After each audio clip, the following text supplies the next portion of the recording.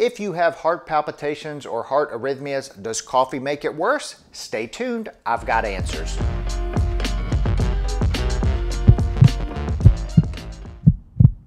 Thanks so much for watching today. Make sure you subscribe to my channel, click that button, hit that bell so you never miss a new recipe or a new health tip.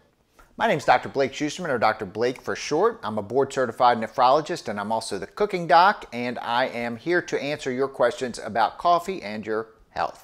Remember that just because I am a kidney doctor, I am not your doctor. So please don't take this as medical advice. This is just for informational purposes. Only discuss any health changes with your doctor or your medical practitioner. Disclaimer done. One of the things I hear all the time for people who come to see me in their office if they have heart disease or cardiac arrhythmias, meaning their heart beats irregularly or, or funny, such as atrial fibrillation or premature ventricular contractions. Well, they always say, well, I've cut out my coffee. My doctor told me to stop drinking that coffee since I started having these problems with my heart. And that has made sense for a long time because we have thought that the caffeine or coffee can stimulate the heart and cause it to go out of rhythm. But is that really the case according to medical data?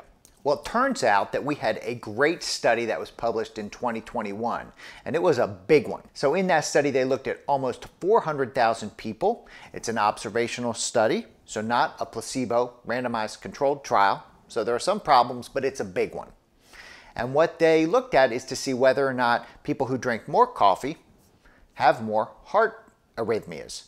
Is their heart more out of rhythm? Do they have more palpitations? Things like that. And the results that they found were actually amazing.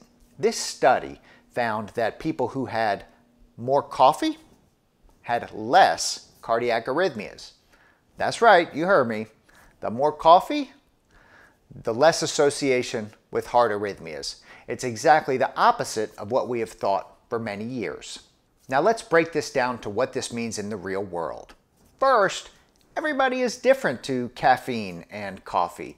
So you may be more sensitive to it than other people. Remember, this is a study of a lot of people and a generalization not related to you specifically.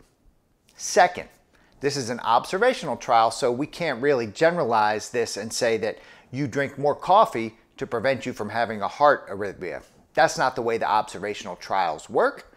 This is just whether or not there is a correlation between those two things. A correlation between people who drink more coffee and have less heart arrhythmias.